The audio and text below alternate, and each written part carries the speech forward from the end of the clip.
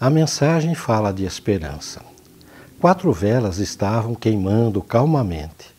O ambiente estava tão silencioso que se podia ouvir o diálogo entre elas. A primeira vela, expandindo a sua chama, disse: Eu sou a paz. Peregrino pelas estradas do sentimento, buscando morada no coração dos homens.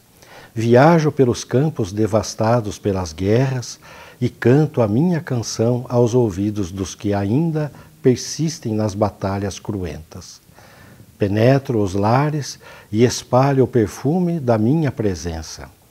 Devo admitir que, apesar da minha luz, as pessoas não têm conseguido me manter acesa. Desejam paz, mas não a exercitam, esperam sempre do outro e, diminuindo sua chama, devagarzinho apagou-se totalmente. A segunda, mostrando o colorido da sua chama, falou: Eu me chamo Fé, tenho me sentido supérflua entre os homens.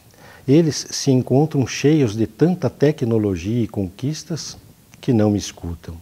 Não querem saber de Deus e das verdades espirituais insistentemente tenho batido às portas da razão humana, demonstrando que sem a minha luz, logo logo quedarão em trevas densas e sofridas. Porque eu sou a chama que se apresenta quando o desengano aparece. Sou a luz que brilha na noite da desilusão. Sou a companheira dos que padecem agruras sem conta. Mas como tenho sido rechaçada, não faz sentido eu continuar queimando. Ao terminar sua fala, um vento bateu levemente sobre ela e a chama se apagou. Baixinho e triste, a terceira se manifestou. Eu sou o amor, não tenho mais forças para queimar.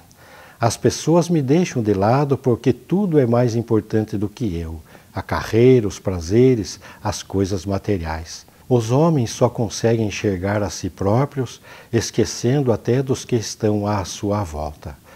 Dito isto, o amor recolheu a sua chama e se apagou. De repente entrou uma criança, olhou as três velas apagadas e falou, espontânea: Que é isso? Vocês devem ficar acesas e queimar até o fim.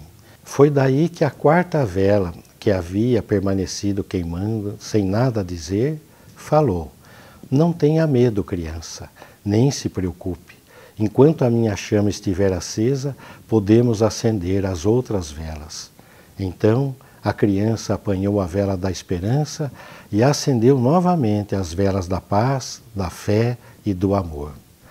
A esperança é a virtude através da qual o cristão confia em receber a misericórdia e o amparo de Deus na terra e a plenitude espiritual após a morte do corpo físico, pelo comportamento digno e disposição de servir.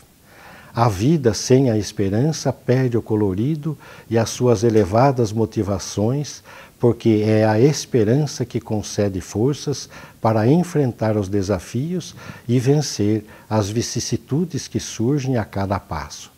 Ninguém consegue viver com alegria sem o concurso da esperança esperança de melhores dias, esperança de realizações superiores, esperança de paz, esperança de fé, esperança de amor, esperança de elevação. A esperança faz claridade que ilumina o caminho. Com esperança, o homem aprende a ver o lado melhor dos acontecimentos, não se permite o insucesso e não receia repetir a experiência.